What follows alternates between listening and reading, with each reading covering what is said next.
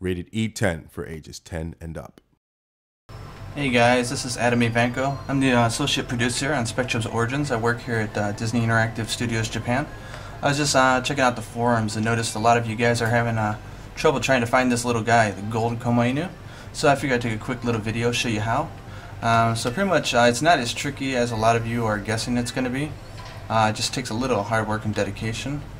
So I'm just going to exit this screen here. So pretty much what you have to do is complete the entire Spectrobes database. Uh, you can check if you have all the Spectrobes or which ones you're missing by accessing the database machine. So we're just going to go in here. And here you go. So pretty much you have to find a child form or fossil for every single species of Spectrobes in the game and raise each one all the way up to its evolved form.